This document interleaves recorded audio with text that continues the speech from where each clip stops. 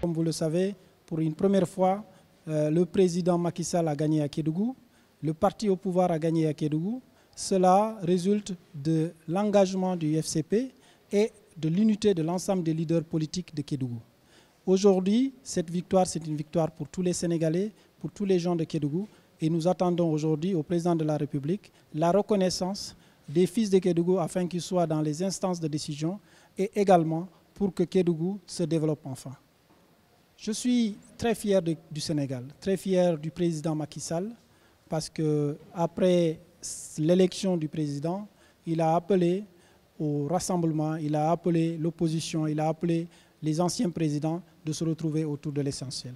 C'est quelque chose, c'est une victoire pour la démocratie et nous en félicitons et j'espère que tout le monde va euh, répondre à cet appel pour que l'essentiel soit notre objectif, c'est-à-dire le développement du Sénégal.